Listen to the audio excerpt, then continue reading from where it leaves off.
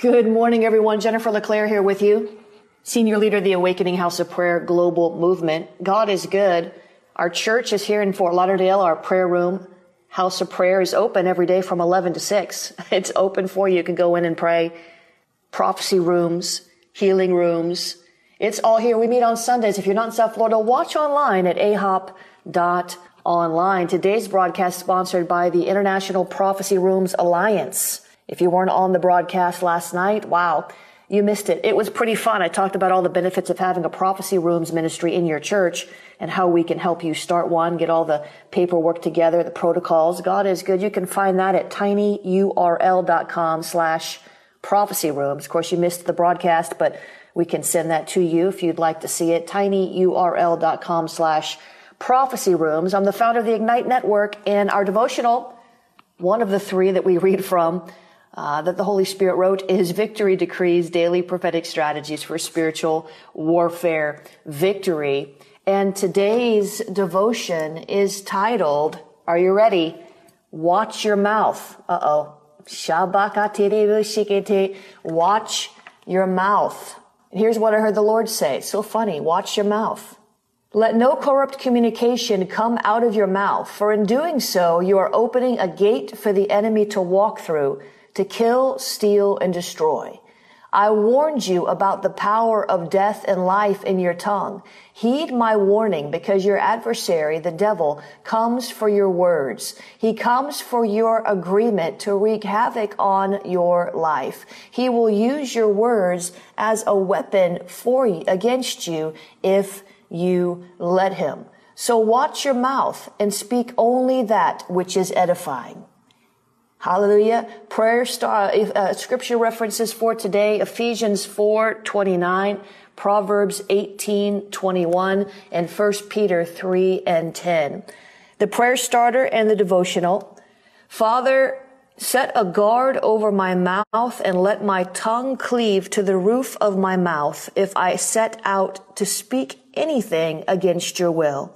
Help me tame your tongue Shaba shakata raba shikiti rubo shakata. Ah, here's the decree. I decree the power of life issues a death warrant against the enemy's plans. I declare the power of life emanates from my tongue and brings healing in Jesus' name. Hallelujah. God is good. Father, we thank you this morning and we repent right off the bat that we have chosen to make this holy time about anything other than prayer. Father, I ask you to help us to understand the importance of prayer and the importance of being on one accord as we pray. Lord, teach us to pray. Teach us the dynamics of prayer because only you hear and answer prayer. We can pray in vain. We can labor in vain. But when we pray with you, we see results. So help us this morning, God, to focus completely on you not on what the kids are doing in the other room or the dog barking in the apartment next door or the thoughts of our minds and what we want and our personal agendas. But help us, Lord, this morning to laser beam focus on you and your will, your way in this time that we have together. Father, we thank you that you move in corporate prayer, that one can put a thousand to flight and two can put 10,000 to flight. So Father, we thank you this morning that as we gather together in droves, as we gather together in unity, as we gather together on one accord, that you will hear and answer our prayer.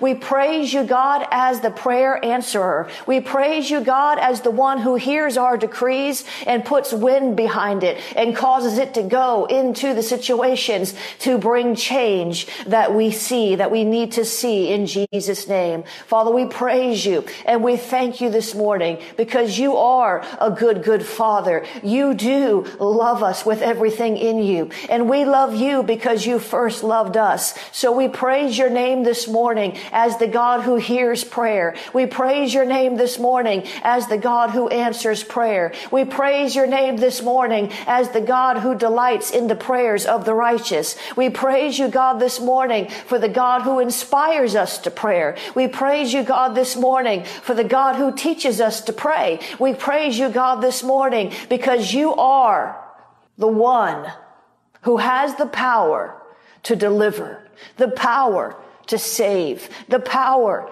to heal. And yes, the power to hear and answer prayer. So now that we're all focused and on one accord, God, now that we are ready to pray, God, we ask you in the name of Jesus to break in with massive power and light and love. God, saturate our dwellings with your love and with your presence and with your joy in Jesus' name. God, help us to see what we could not see before when we were distracted by the ways of the world, distracted by the noises here and there, distracted by everything.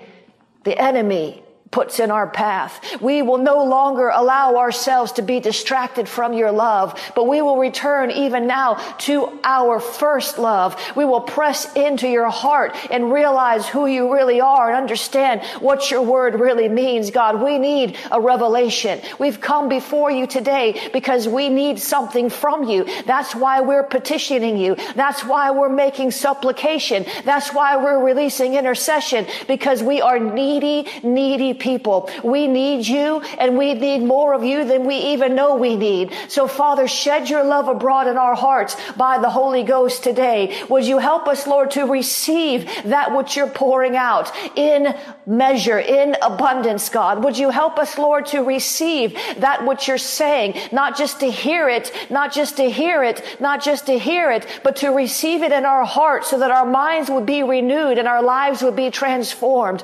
God, we thank you this morning for your grace and your goodness and your mercy. And we thank you, Lord, that goodness and mercy shall follow us all the days of our lives. And even when plagues threaten our dwelling, they shall not enter our dwelling. They shall not come nigh our dwelling. They may, may be right down the hall, right down the street, or even right next door, but they shall not come nigh our dwelling. They shall not enter our dwelling because we are fortified in Christ. We are hiding under the shadow shadow of your wings. We will not be distracted by the news media that wants to tell us how bad this week will be, but we will look at our God and see how good you are. We thank you, Lord. We thank you, Lord. We thank you, Lord, that you are seated on the throne, high above principalities, powers, and plagues, high above principalities, powers, and plagues, high above principalities, powers, and plagues, and we are seated in you. Therefore, we are far above principalities, powers, and plagues. Come on. We are far above principalities, powers, and plagues. We have authority. We thank you, Lord, that our authority works by faith and faith works by love. So help us, Lord, to love you a little stronger and to receive more and more and more of what you're freely pouring out in our midst. Oh God, you give it freely. You give it liberally. Your love, your joy, your peace. You pour it out without measure. You're there. You're ready. We've just got to get up under the open heaven. So Father, help us, Lord, to pray without ceasing, to walk in such a way that there is an open heaven over our life, to create a spiritual climate with our words, a spiritual atmosphere with our praise that invites heaven to come to earth over our heads, over our households, over our workplaces, oh God. We need your help because we don't know how to speak like we ought to speak. Our tongues are unruly. Our mouths are sometimes lighting fires in our life. And we need your help because we want to create spiritual atmospheres and climates over our life that are open portals like Jacob's ladder where the angels were ascending and descending up and down, up and down, up and down or we want to receive that revelation that you're pouring out. We don't want to be hindered by our own distraction, hindered by our own frustration, hindered by our own hatred, hindered by our own whatever. We need what you're pouring out, God. Help us, Lord, to get right up under that heavenly spigot. Help us, Lord, to get right up under that heavenly spigot and drink deep. Come on, I just saw a picture. When you were a kid, did you ever drink out of the water hose? when you were a kid, did you ever drink out of the water hose? I just saw a water hose and just, just, just lapping that water up. That's how we need to be. That's how we have to thirst after God. When I grew up, we would play freeze tag and red robin and all these games and run and play and roll around in the grass and jump and hopscotch and do all those kind of things. And then we would go drink out of the water hose. This was Obviously, a very long time ago. Most people don't even use water hoses anymore. You live in condos and apartments. And we were, we would, we would run and play and dance and skip and jump to the point that we got thirsty. And this has to be our attitude with the Lord, that we're working the works of Christ and we're thirsty for Him. And when we get tired and worn out from the work of Christ, the co-laboring with Him, when we've, when we've, when we've exhausted our physical natural bodies, our spirits are still hungry. And we go and we drink deep and it revitalizes even our mortal flesh. The Bible says the Holy Spirit can quicken our mortal bodies. I know some of you are tired. I know some of you are weary. Half of the people that are usually on this broadcast are sleeping in because they don't have to go to work. And they're staying up late nights, probably watching the news or dealing with kids or cleaning their house or catching up on things. Who knows? Or maybe they're up all night praying. I don't know. It's all good. But many people are just tired and worn out from the stress and that's why they're not up. And that's what we want to address. So Father, help us to come to you, all of us who are weary and overburdened because you promised to give us rest. You promised to give us refreshment out of that water hose that we would drink deep when we're thirsty, when we're worn out. Help us, Lord, to recognize our own thirst before we get so hashekete, before we get so spiritually dehydrated that we make ourselves sick. Come on. Help us recognize, God, our own spiritual thirst. Help us recognize our own spiritual thirst. Help us recognize our own spiritual thirst before we get so dehydrated that we make ourselves sick. Lord, fill us again with your spirit, O God. Fill us again with your spirit to overflowing. Fill us again with your spirit to overflowing, God. We're thirsty. We might not know we're thirsty, but we're thirsty. We might not know we're hungry, but we're hungry. Some of you have lost your appetite in the natural. Don't lose your appetite in the spirit. Eat whether you're hungry or not. Read the Bible whether you feel like it or not. Read the word whether you feel like it or not. When people lose their appetite in the natural, they stop eating because they don't feel like eating and they're missing an important nutrition. Read your Bible whether you feel like it or not. Read your Bible whether you feel like it or not.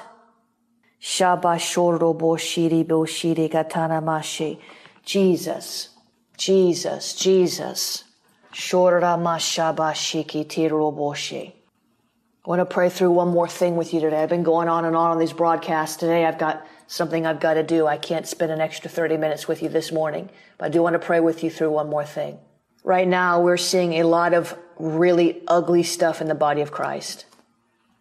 A lot of ugly stuff. We're seeing more strife than I've ever seen and the vitriol, the level of wickedness coming out of the mouths of believers has grieved my spirit to the point that I just have to stay in prayer. And some years ago, some years ago, I had a friend and he's still my friend, but there was a lot of ugly stuff going on then. It's not new. And he said something to me that I've always remembered, and the Holy Spirit reminded me of it yesterday. And I want to share it with you. He said, when you're grieved at the behavior of the bride, get your eyes off the bride and put your eyes on the bridegroom. In other words, the church can be grievous. And when the church, the people in the church are grieving your heart and just stirring your soul in a negative way, Stop looking at the church and start look at the, start looking at the Savior. Stop looking at the bride and start looking at the bridegroom. Sometimes you just have to get your eyes off the bride.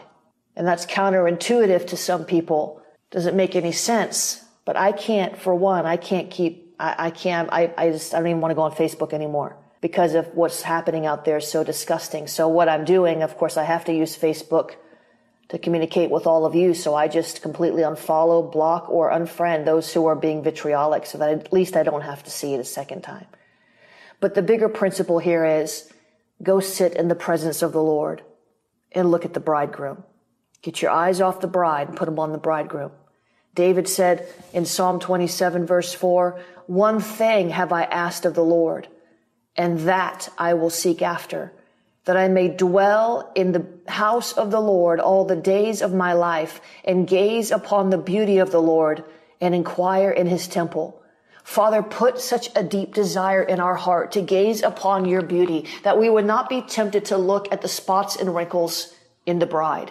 Lord, give us such a hunger, such a thirst for you that we would not be interested in scrolling and scrolling and scrolling and listening and listening and watching and watching these things that grieve your heart, probably more than they grieve our heart. Help us, Lord, to keep our eyes on you, to keep our eyes on the bridegroom, Jesus Christ, our beautiful savior. He's coming back soon. There's going to be a wedding feast. Lord, we want to be part of that. We want to focus on that day. We want to have an eternal perspective perspective. We want to have a heavenly view. We don't want to be stuck down here at like citizens of the earth looking at all the things going wrong and wondering what's going to happen next. We want to be as we are citizens of heaven, heavenly minded, looking at things to come, understanding things that are unseen, but that are promised in scripture. God help us, Lord, to be like David and to be a person of one thing.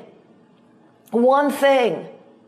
One thing have I asked of the Lord, and that I will seek after. God, help us to seek after your beauty. Help us to seek after your love. Help us to seek after your presence. Help us to seek after your kingdom. Help us to seek after your righteousness. For your word says if we seek first the kingdom and your righteousness, that everything else we need will be added to us. You're not going to add grief. You're not going to add sorrow. You're going to add what we need. And you're going to take away those things we don't need because they won't be in our purview. We won't have to be distracted by the nasties. We won't have to be distracted by those who persecute. We won't have to be distracted by the attackers. We won't have to be distracted by the blindsiders. We won't have to be distracted. We'll just be focused on you, God. Give us dove's eyes, eyes of devotion for you and you alone, eyes of adoration for you and you alone. Isaiah 33, 17 says, your eyes will behold the king in his beauty.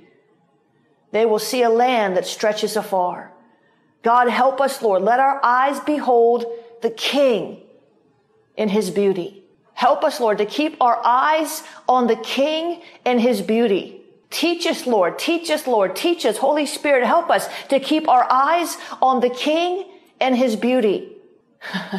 we could look at so many other things. We were tempted to look at so many other things. But Lord, help us to keep our eyes on you and your beauty. You are our King. You're not just our Savior, you are our King. You are the ruler. You are the Lord of all. You are the master of the universe. Help us to keep our eyes on you and you will keep us in perfect peace. We won't have to be grieved about the Facebook haters and the accusers of the brethren because we're not going to look at that. We're going to look at you.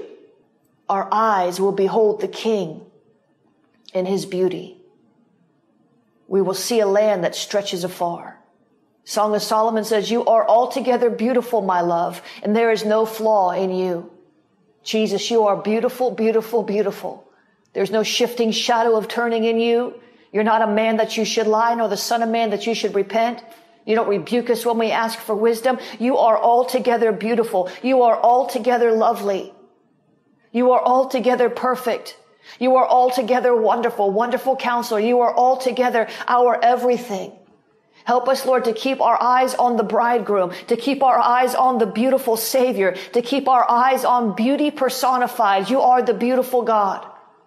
The good and beautiful God. That is who you are. Help us to keep our eyes on you, our hearts aligned with you, that we would not stray away from you because of an offense I have never seen so many people get offended over petty little stuff as I have in this season. The Bible says that many will be offended and the love of many will wax cold. Offense is the first step. Love waxing cold is the next step. And after that is deception from false prophets. Go read it in Matthew 24.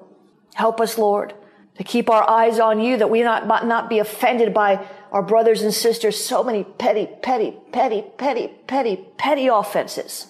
Strife we don't want to be distracted by that, God. We want to be so sold out and consumed with your beauty that we don't even notice those things because we can't do anything about it unless you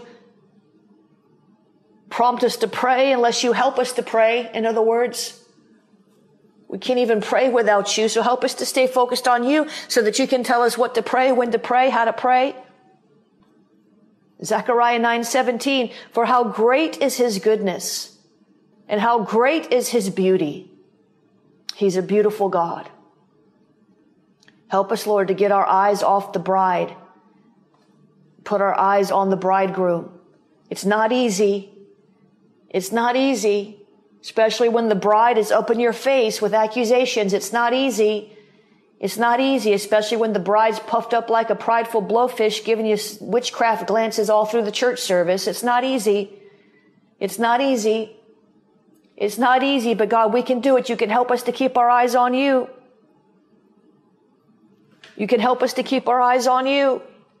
We don't want to be offended. We don't want to be the prideful ones releasing witchcraft looks at people. We don't want to be that way. How great is his goodness and how great his beauty.